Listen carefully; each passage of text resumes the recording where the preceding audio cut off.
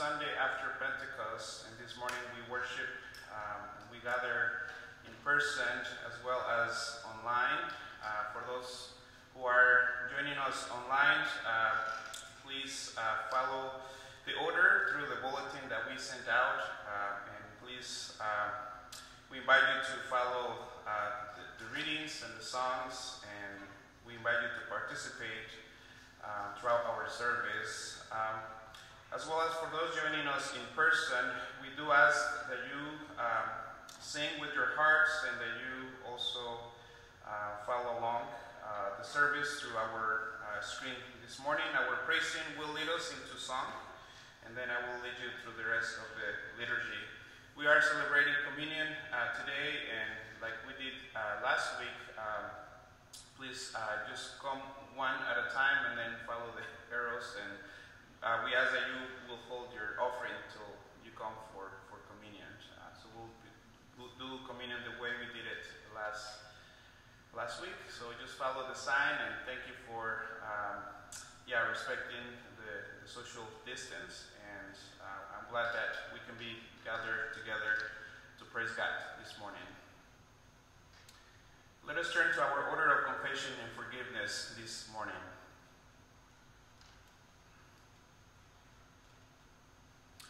Blessed be the Holy Trinity, one God, who creates, redeems, and sustains us in all of creation. Amen. Let us confess our sin in the presence of God and of one another. Let us uh, take some time for self-reflection. Uh,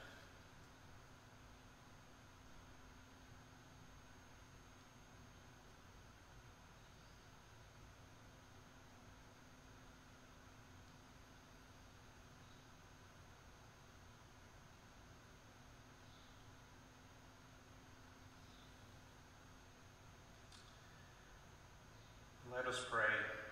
Faithful God, have mercy on us. We confess that we are captive to sin and cannot free ourselves. We turn from your loving embrace and go our own ways. We pass judgment on one another before examining ourselves. We place our own needs before those of our neighbors.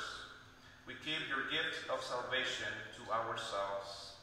Make us humble Cast away our transgressions and turn us again to life in you. Through Jesus Christ, our Savior and Lord. Amen. God hears the cries of all who call out in need, and through his death and resurrection, Christ has made us his own. Hear the truth that God proclaims, your sins are forgiven in the name of Jesus Christ. Led by the Holy Spirit, live in freedom and newness to do God's work in the world. Amen. Our, our gathering theme is the Church's One Foundation.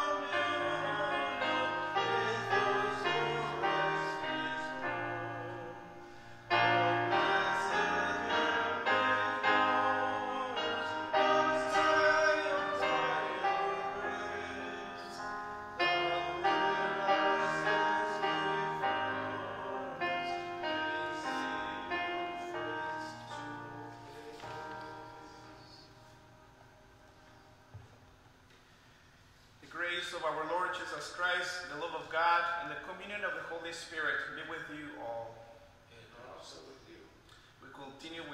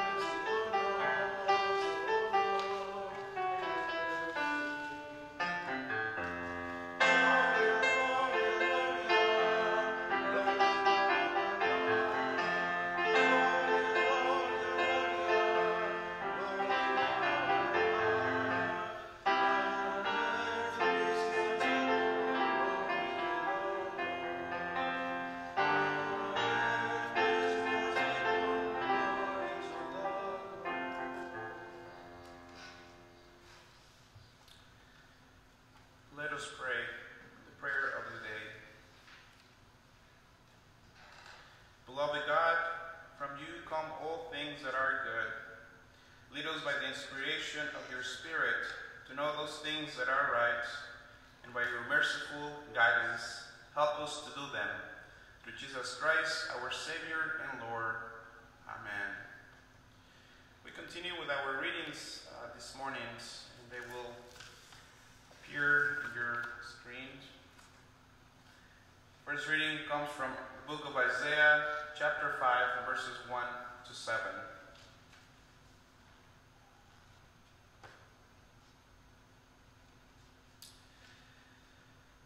Let me sing for my beloved my love song concerning his vineyard. My beloved had a vineyard on a very fertile hill. He dug, he dug it and cleared of stones and planted it with choice vines. He built a watchtower in the midst of it and hewed out a wine vat in it. He expected it to yield grapes, but it yielded wild grapes. And now, inhabitants of Jerusalem and people of Judah, judge between me and my vineyard. What more was there to do for my vineyard that I have not done in it? When I expected it to yield grapes, why did it yield wild grapes? And now I will tell you what I will do to my vineyard. I will remove its hedge, and it should be devoured. I will break down its wall, and it should be trampled down. I will make it a waste, and it should not be pruned or hoed, and it should be overgrown with briars and thorns. I will also command the clouds that they rain no rain upon it. For the vineyard of the Lord of hosts is the house of Israel, and the people of Judah are his pleasant planting. He expected justice, but saw bloodshed, righteousness, but heard a cry.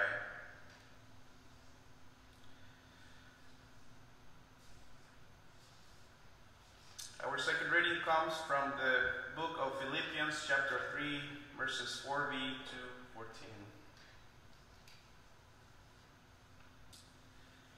If anyone else has reason to be confident in the flesh, I have more. Circumcised, circumcised on the eighth day, a member of the people of Israel, of the tribe of Benjamin, a Hebrew born of Hebrews, as to the law, a Pharisee, as to zeal, a persecutor of the church, as to righteousness under the law, blameless. Yet whatever gains I had, these I have come to regard as loss because of Christ.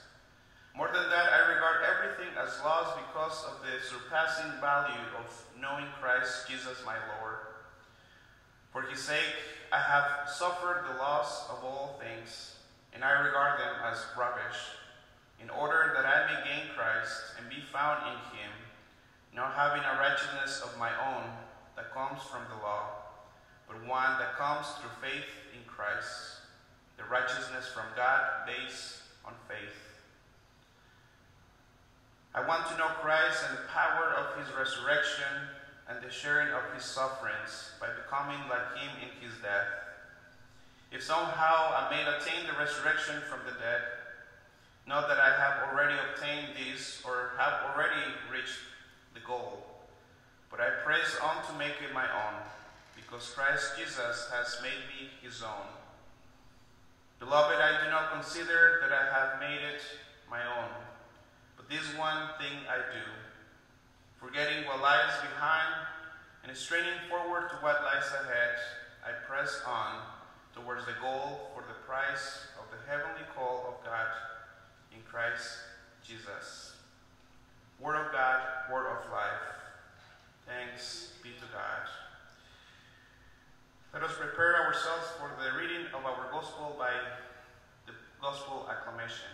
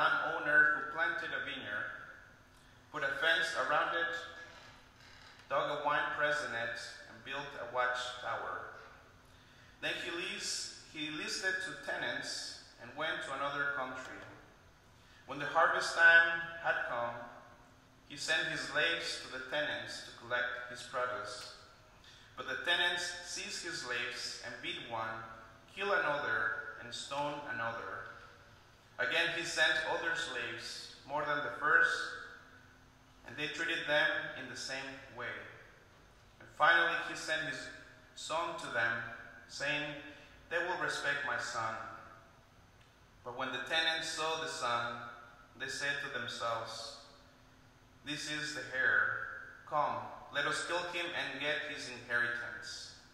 So they seized him, drew him out of the vineyard, and killed him. Now, when the owner of the vineyard comes, what will he do to those tenants? They said to him, He will put those wretches to a miserable death and lease the vineyard to other tenants who will give him the produce at the harvest time. Jesus said to them, Have you never read in the scriptures, the stone that the builders rejected has become the cornerstone? This was the Lord's doing, and it is amazing in our eyes. Therefore, I tell you, the kingdom of God will be taken away from you and given to a people that produces the fruits of the kingdom.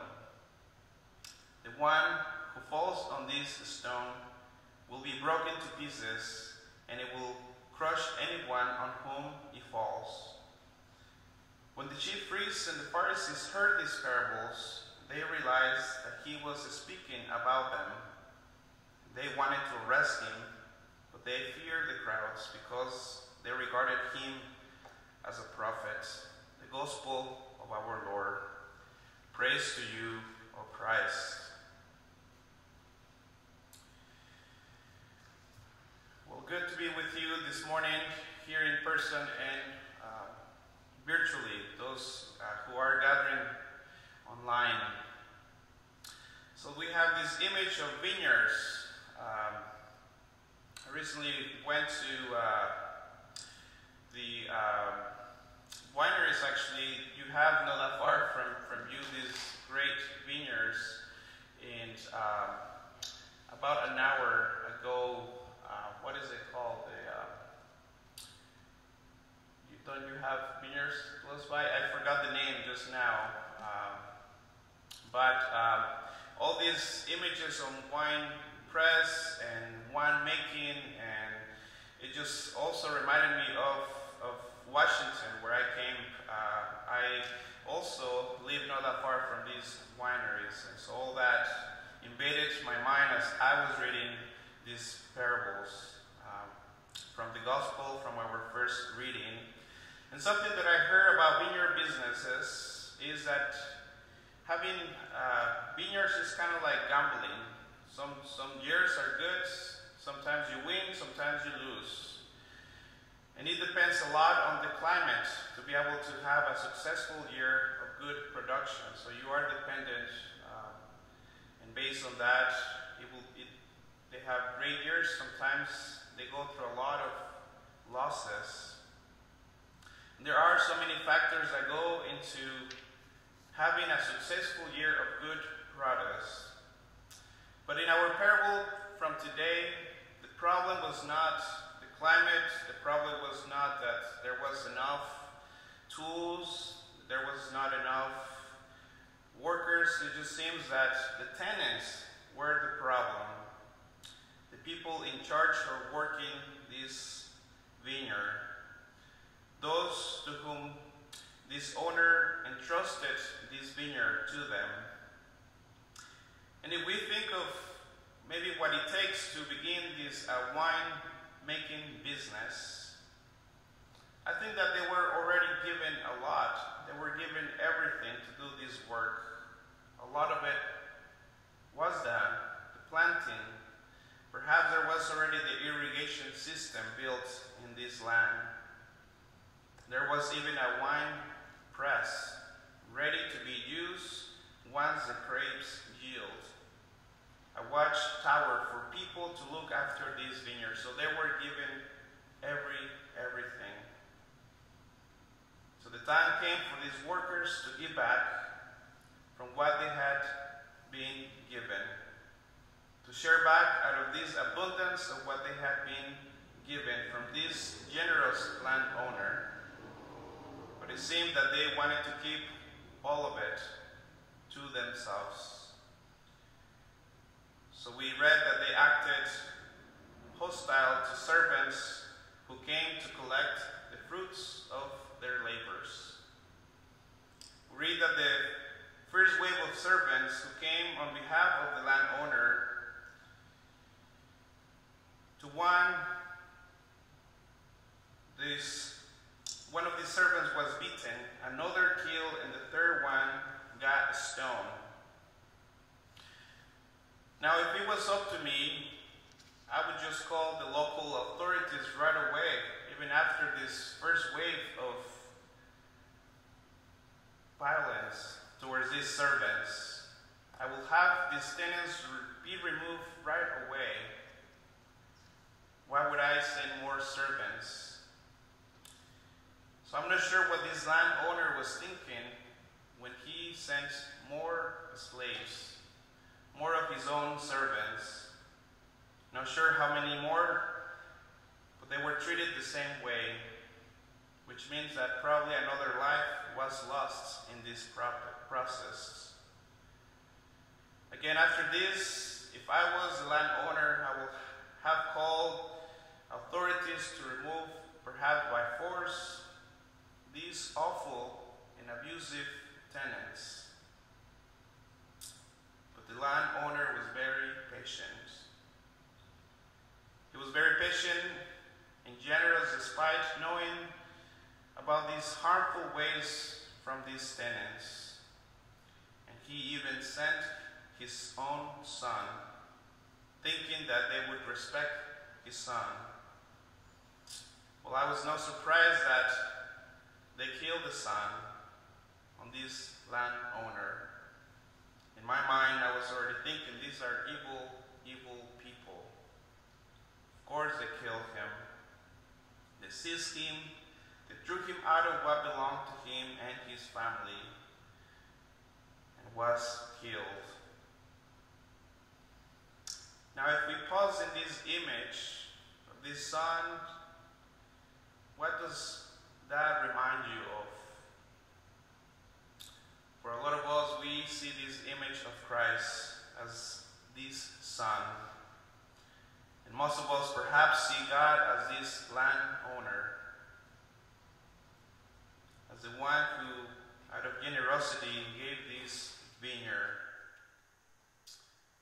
And perhaps Jesus was pointing to himself as this son, who came after the many servants from God to God's people, many messengers, many prophets before him, to share the message of God's justice to God's people.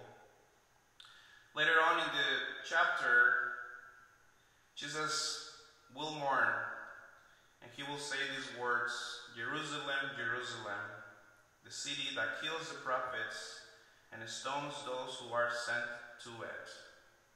How often have I desired to gather your children together as a hen gathers her brood under her wings and you were not willing. And then he offers these words from a psalm. We will find these words in Psalm 118. The stone that the builders rejected has become the cornerstone. And this was the Lord's doing, and it is amazing in our eyes. What was Jesus talking about here? What did he mean when he said all these things? When he said, The one who falls on this stone will be broken to pieces, and it will crush anyone on whom he falls.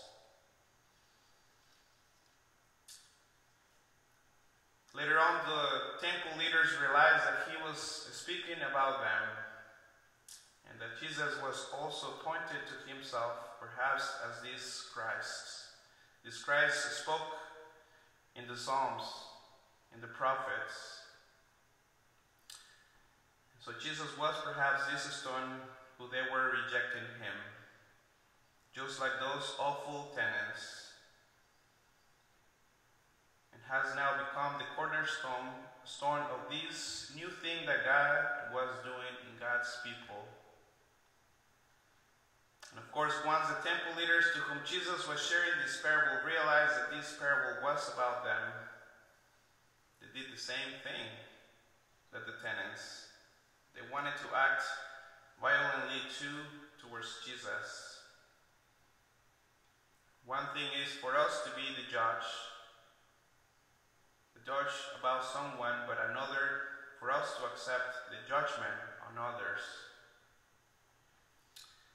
These tenants are those entrusted with the kingdom of God.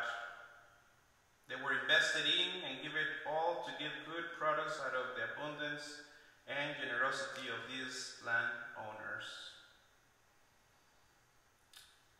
And as workers of God's kingdom, they were not bearing fruit.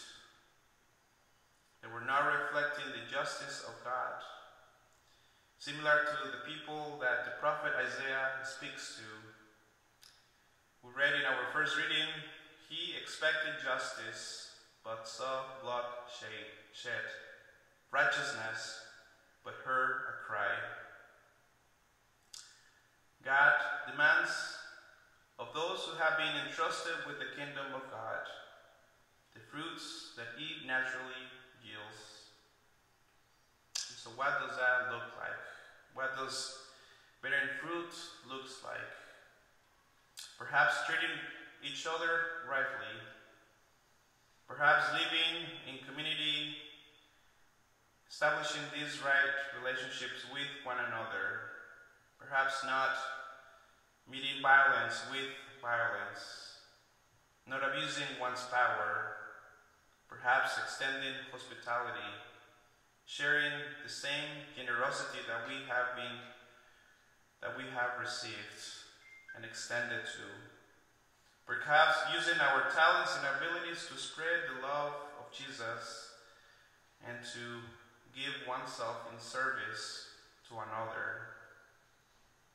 This parable is not only to those temple leaders and gatekeepers of the church to which Jesus was talking and referring to, but to all of us, all to whom God has called and gathered and sends out each week to share the kingdom of God, just like you and me. In our baptism, we become anointed by God to work throughout our lives of faith in spreading the kingdom of God,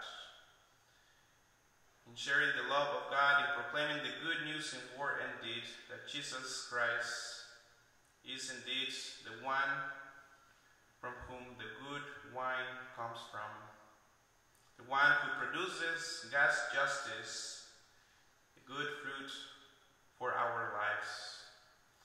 As the scripture says, Jesus is the vine and we are the branches. And that is exactly those good news that we need to hear today. That as long as Christ dwells in us, we will indeed bear good fruit. That is the promise of the gospel for us. These fruits needed to spread the love of God in this world.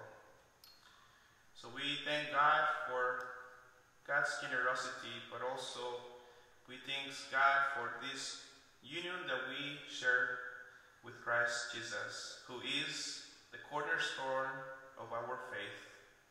Amen.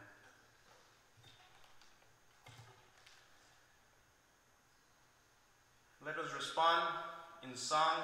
Our hymn of the day is If You But Trust in God to Guide You.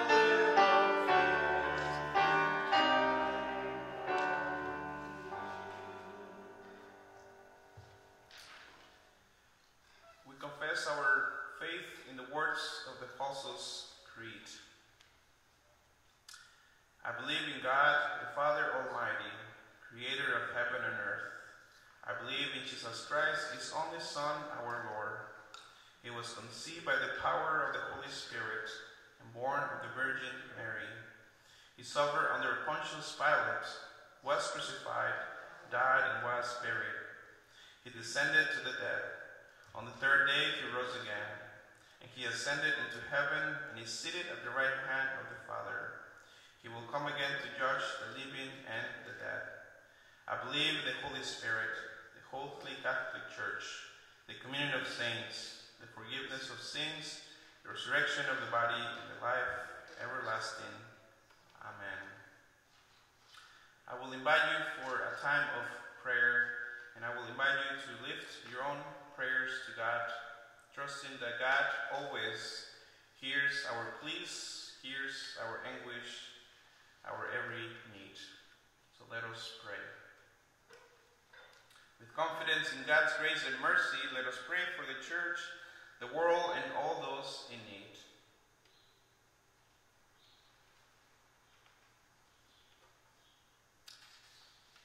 Holy God, you call us to work for peace and justice in your vineyard. Refresh the church with your life that we may bear fruit through work and service. Lord, in your mercy, hear our prayer. Thank you for the abundant harvest of the earth. Bless and care for those whose hands bring the fruits of the earth to the tables of all who hunger. May we be inspired by your servants who care deeply for your creation. Lord, in your mercy, hear our prayer. Curb the impulses of greed and pride that lead us to take advantage of others. Grant that world leaders seek the fruits of the kingdom for the good and welfare of all people. Lord, in your mercy, hear our prayer. Sustain all who suffer with the promise of new life. Assured of your presence, heal our pain and suffering, and equip us to embrace all bodies, aching for wholeness of mind, body, and soul. We call to mind those who are struggling today. Lord, in your mercy, hear our prayer. We pray for all managers in our community and for all who seek employment. Give hope and a future to those who lack meaningful work, those who have been marginalized or abused in the workplace, and those who desire new opportunities. Lord, in your mercy, hear our prayer. We thank you for the saints who teach us to live faithfully in your vineyard. May our choirs join theirs until our labor is complete. Lord, in your mercy, hear our prayer. Listen as we call on you, O God, and enfold in your loving arms all for whom we pray, in the name of Jesus Christ, our Lord. Amen.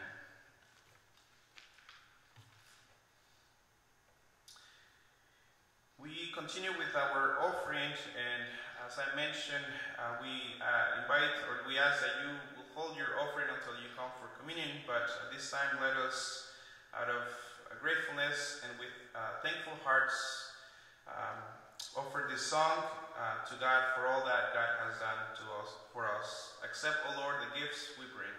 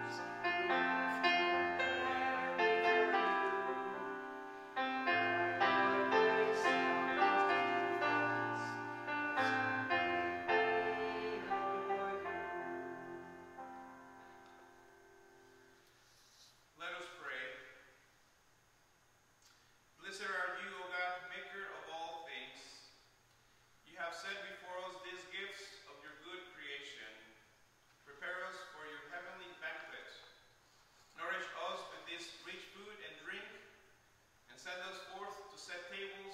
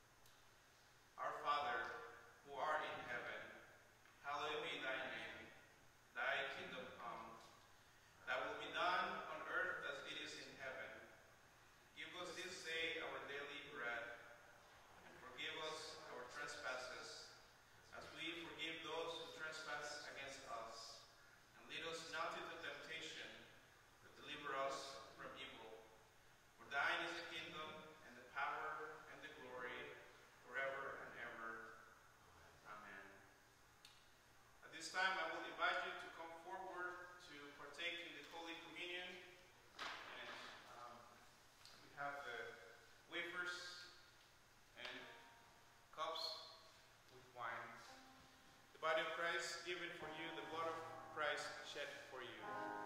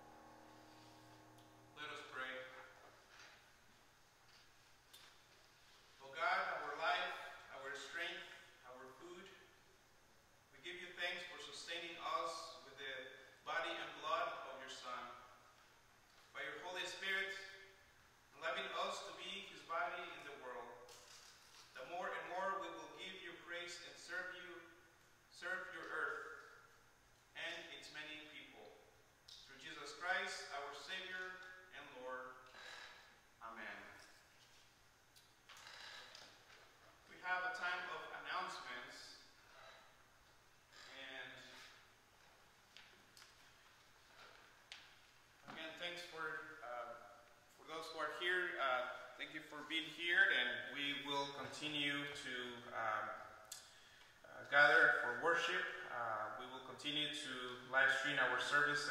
We will continue to have our building open on Sundays, uh, 9 in the morning for our uh, worship in English, and then 10:30 we will be also worshiping in Spanish. Um, we continue to send out uh, each week um, the newsletter. Uh, you should be able to have to receive that in your email. If not, please give us a call at the office. Uh, the office is open every day, Monday through Thursday, 9 a.m. through noon.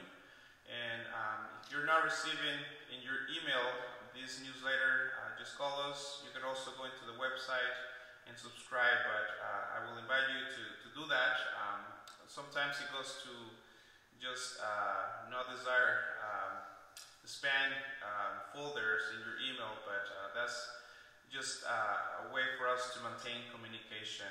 Um, and yet, in, in that, you will see a list of prayers of people that we are holding in prayer this week. And so we hold uh, those who were not able to be with us this morning and those who are at home, and uh, we uh, continue to hold um, in prayer uh, all those with, who have recently um, lost their homes because of, of the fire.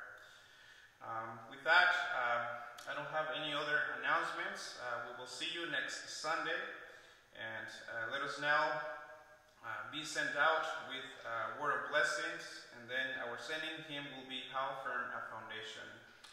So let us receive this blessing. Mother in God, Father, Son, and Holy Spirit, bless you and lead you into the way of truth and life. Amen.